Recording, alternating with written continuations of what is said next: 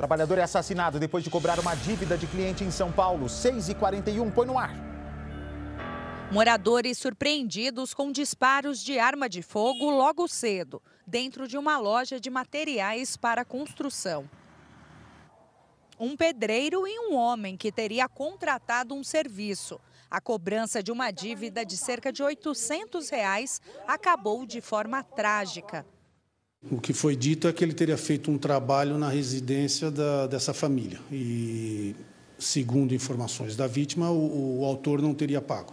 O que poderia ser apenas uma simples conversa acabou virando uma grande confusão. A, a briga, a discussão é, iniciou-se com a, com, a, com a mãe e as duas filhas, né? depois é que chegou o autor. O martelo do pedreiro ficou no local assim como a bagunça. Eram por volta de nove e meia da manhã quando o pedreiro teria entrado na loja de material de construção que havia acabado de abrir. Ele procurava o antigo dono da loja, que vendeu o estabelecimento há cerca de uma semana.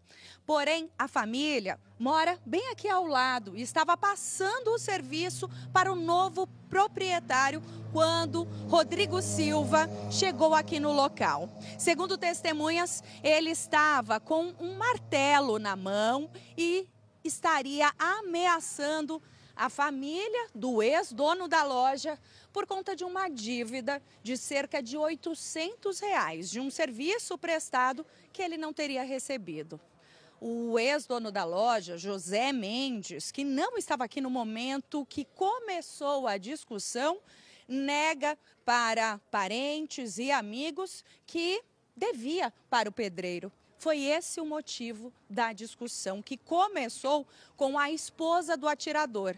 O pedreiro teria entrado na loja e quebrado alguns objetos e ameaçado a esposa e as duas filhas de José Mendes, que ouviu a briga e saiu armado.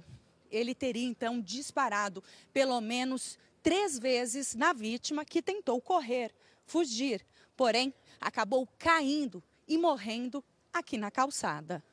Segundo a Polícia Civil, o atirador está sendo procurado. Ele vai responder pelo crime de homicídio por motivo fútil.